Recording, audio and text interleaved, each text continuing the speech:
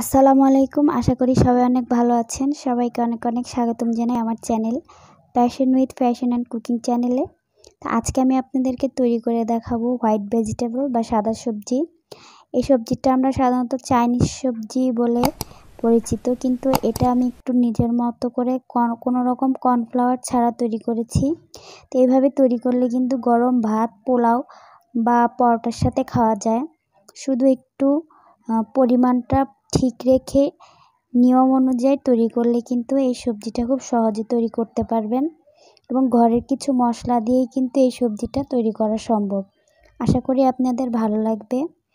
তো আমি এখানে কিছু শীতকালীন সবজি নিয়েছি, এগুলো আগে থেকে হাফ বয়েল করে নিয়েছি।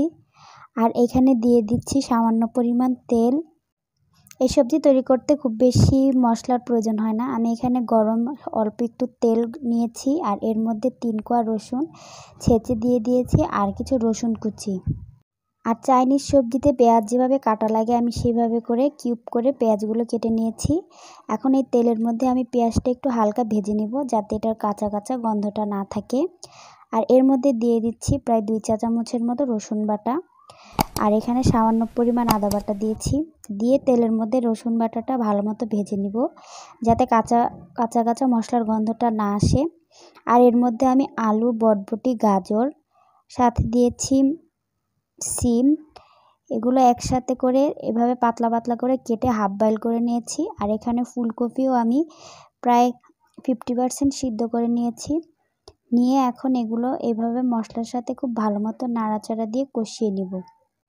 মশলার সাথে ভালো মতো কষিয়ে নেওয়ার পরে এখানে আমি এক চা চামচের মতো দিয়ে দিচ্ছি লবণ আর দিয়ে দিচ্ছি হাফ চা চামচের মতো ধনিয়ার গুঁড়া। এখানে আর আমি এক্সট্রা কোনো মশলা ব্যবহার করি একটু দিয়ে ভালো মতো নেড়ে নিতে হবে যাতে এর মশলা ও লবণ সবগুলো যেন সবজির মধ্যে পরিপূর্ণভাবে পৌঁছে যায়। তারপরে এখন আমি মিনিট পাঁচের মতো এটা ঢেকে রাখব। এটা ঢেকে রেখে যে এক্সট্রা পানি আছে সবজি থেকে বের হবে, এর মধ্যে এটা হালকা সিদ্ধ হয়ে আসবে। এরপরে আমি এখানে দিয়ে দিচ্ছি বাঁধাকপিগুলো আমি একটু পাতলা করে কেটে নিয়েছি এবং একটু চড়া চড়া করে। তো চাইনিজ সবজি যেভাবে কাটা হয় আমি সেম ওইভাবে করেই কেটে নিয়েছি। আপনারা চাইলে এখানে আরও কিছু সবজির ব্যবহার করতে পারেন। আমি এখানে শীতকালীন যে নতুন সবজিগুলো উঠেছে সেগুলো দিয়েই রান্নাটা করছি। এখন এটা খুব ভালো মতো নেড়ে চেড়ে নিব। এরপরে এর মধ্যে আমি এক চা চামচের মতো দিয়ে দিচ্ছি সাদা গোলমরিচের গুঁড়া। এটা ঝালের জন্য ও ফ্লেভারের জন্য ভালো হয়। এরপরে একটু ভালো মতো নেড়ে আরও কিছুক্ষণের জন্য আমি এটা ঢেকে রাখব। এখানে ঢেকে তারপরে এক্সট্রা যে পানি হবে সেই পানিতে এটা ভালো মতো ভাপিয়ে নিব। এরপরে এর মধ্যে আমি দিয়ে দিচ্ছি গুঁড়া দুধ গুলিয়ে। এর মধ্যে সামান্য পরিমাণ চিনি ব্যবহার করেছি। এরপরে দিয়ে দিচ্ছি আমি আটা। এখানে আমি প্রায় এক টেবিল চামচের মতো আটা নিয়ে ঠান্ডা পানিতে গুলিয়ে নিয়েছি। আপনারা চাইলে এখানে কর্নফ্লাওয়ার ব্যবহার করতে পারেন, তবে বাসায় যদি আটা বা ময়দা থাকে, একটা দিয়েও কিন্তু এই সবজিটা রান্না করতে পারেন, কোনো সমস্যা নেই। আর এখানে আমি সেই বাটির পরিমাণ দুই বাটি পানি দিয়ে দিয়েছি।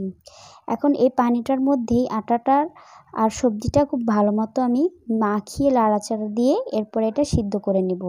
যেহেতু সবজিটা আগে থেকেই সিদ্ধ হয়ে গেছে আর এটা যেহেতু আমি ঘরোয়াভাবে তৈরি করেছি, তাই এখানে আমি কোনো খুব বেশি একটু শুকনো রাখব না। এটা এটা একটু নরম করে নিব, আদা কাঁচা করব না। তো এখন আমি এটা ঢেকে রেখেছি। পাঁচ থেকে দশ মিনিট পর্যন্ত এটা ঢেকে লো হিটে আমি এটা ভালো মতো ফুটিয়ে নিয়েছি। এরপরে এখানে একটি ডিম খুব ভালো মতো ফেটিয়ে আমি এর উপরে এভাবে দিয়ে দিব। দিয়ে কিছুক্ষণের জন্য এভাবে রেখে দিচ্ছি। তারপরে হালকা করে চামিচ দিয়ে একটু নাড়া দিয়ে দিব। এতে ডিমটা খুব ভালো মতো সবজির মধ্যে মিশে যাবে।